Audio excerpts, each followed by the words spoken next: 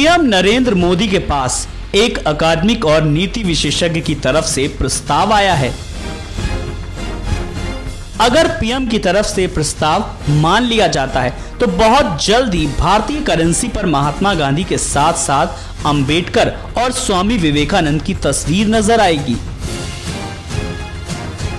दरअसल कांग्रेस अध्यक्ष सोनिया गांधी की अगुवाई वाली नेशनल एडवाइजरी काउंसिल के सदस्य रह चुके नरेंद्र जाधव ने ये सुझाव दिया है।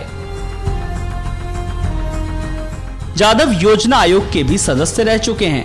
नरेंद्र जाधव, डॉक्टर अंबेडकर की 125वीं जयंती समारोह के लिए प्रधानमंत्री के नेतृत्व वाली राष्ट्रीय समिति में छह गैर सरकारी सदस्यों में से एक हैं।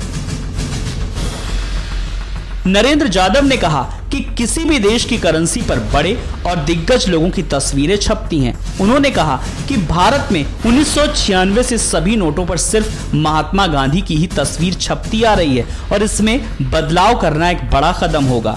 जाधव ने इस प्रपोजल की पुष्टि करते हुए कहा, मैंने कमेटी की पहली मीटिंग में पीएम को ये सुझाव दिया था। मैंने कहा कि यूएस और यूके की करेंसियों पर कई बड़ी हस्तियों की तस्वीरें छपती हैं और ऐसा भारत में भी हो सकता है। हम भी बी आर अंबेडकर और स्वामी विवेकानंद की तस्वीरें अपने नोटों पर छपवा सकते हैं। उन्होंने कहा कि उनके सुझाव पर सहमति बनती है या नहीं वो तो वक्त ही बताएगा। लेकिन हाल ही में सरकार डॉक्टर अंबेडकर की छवि वाला सिक्का तो जारी कर ही चुकी है।